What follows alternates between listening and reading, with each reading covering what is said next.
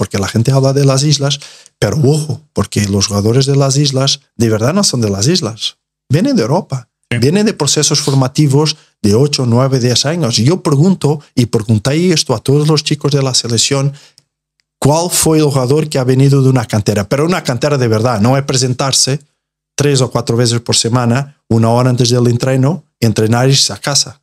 Porque eso no es una cantera. ¿Okay? Sí, que es, una deficiencia que hemos tenido. Son, son, son pocos, son pocos. Imagino, imagino que los de. Hay uno, eh, es Tomás. Es Tomás.